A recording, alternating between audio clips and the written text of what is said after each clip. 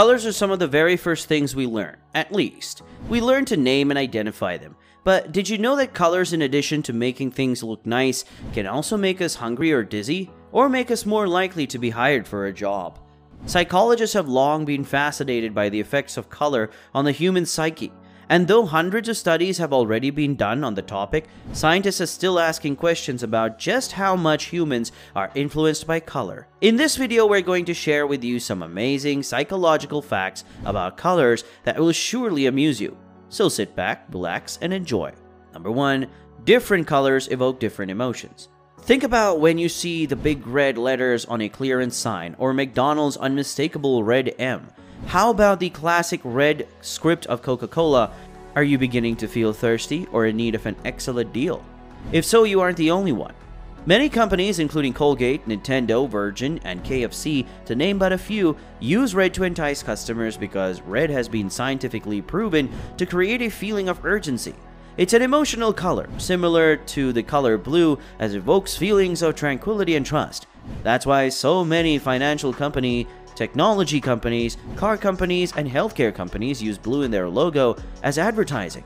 Other colors that are often used for their ability to evoke certain emotions include green, that's nature and growth. Think Whole Foods or Animal Planet. Orange is confidence and enthusiasm. Think Harley Davidson or Hooters. Black is the power and elegance used by Jaguar, Chanel, and Montblanc. White is perfection. Think of Apple or Ralph Lauren. Purple is wealth and royalty, like Crown Royal or Cadbury. And yellow, intellect and energy. Think National Geographic or DHL. Number 2. Colors can play tricks on your mind. Though it's proven pretty difficult to conclude definitively that colors affect a person's psyche, there have been plenty of studies, some official, some not so official, that have come close. These studies date back to the 1930s when neurologist Kurt Goldstein began experimenting with things like color and appearance. For example, Goldstein found that people assume red objects are automatically heavier, while those that are green are automatically lighter. In a more recent case, a coffee shop with light blue walls was so tired of hearing their customers complain about the cold that they painted the walls orange. The temperature stayed exactly the same, but the complaining stopped entirely. A study done by a casino found that when the tabletops are red and opposed to blue, people are more inclined to gamble longer. Meanwhile, the city of Glasgow in Scotland heard about a study that suggested that color blue evokes trust. When the city changed all its street lights to blue lighting in 2000, they found that their crime rate decreased. Number 3. You're more likely to forget something when it's in black and white. Psychologists have found a number of connections between color and memory. As it turns out, people have more trouble remembering facts presented in black and white than they do facts presented in color.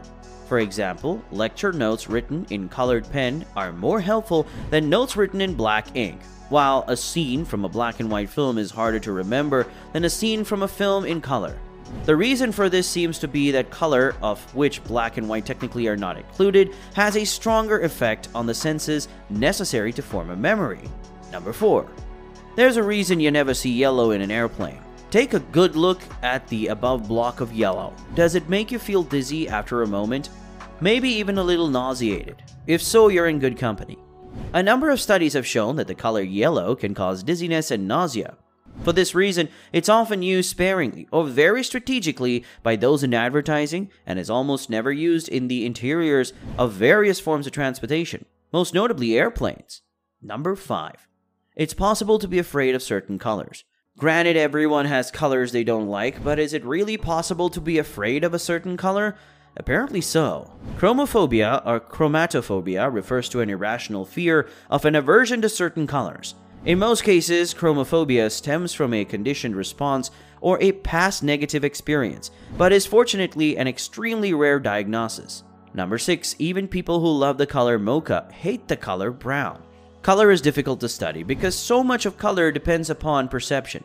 For example, think about the fact that blue was once the symbolic color for baby girls, while pink was mostly used for boys.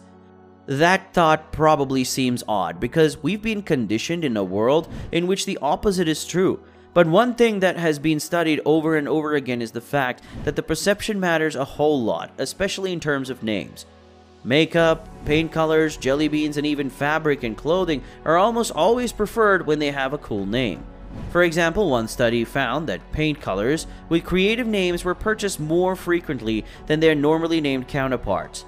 In another study, jelly beans with names like razzmatazz were chosen much more frequently than those with names like lemon. In yet another study, people were shown two cards differently named but shown the exact same color. The vast majority of people said they preferred the mocha card to the card that was brown. Number 7. Want to appear powerful? Wear black. The color black doesn't just evoke feelings of power when it comes to logos. Various studies have suggested the same psychology applies to humans as well.